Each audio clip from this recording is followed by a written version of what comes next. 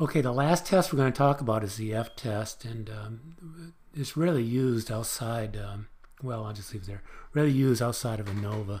And, and this is, uh, if you look at the data we have here, if it looks familiar, this is from when we do the t-test. Now remember I said the t-test uh, tests the means, the averages. Uh, the f-test compares the uh, variance, or the ANOVA.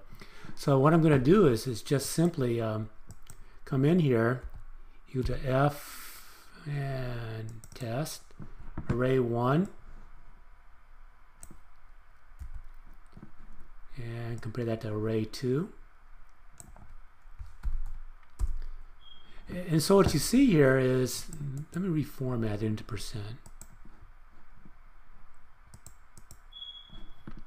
There's less than a, a, a 0.01%, less than one um, hundredth of a percent uh, chance that um, the variation I'm seeing is a, as a result of random chance. Okay, and, and we can see that. What I'm going to do is come down here below it I'm just going to type in standard deviation.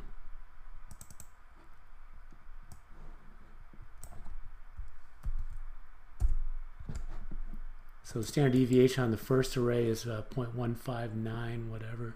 I can't read it. And on the second one, it's 0.061. So you can see there's quite a bit of difference between uh, um, the two arrays. Again, the SEF test, it tests on variance as opposed to means like the t-test. We're going to use that a lot in ANOVA. That's the basis for ANOVA, analysis of variance. So you want to work with the variance.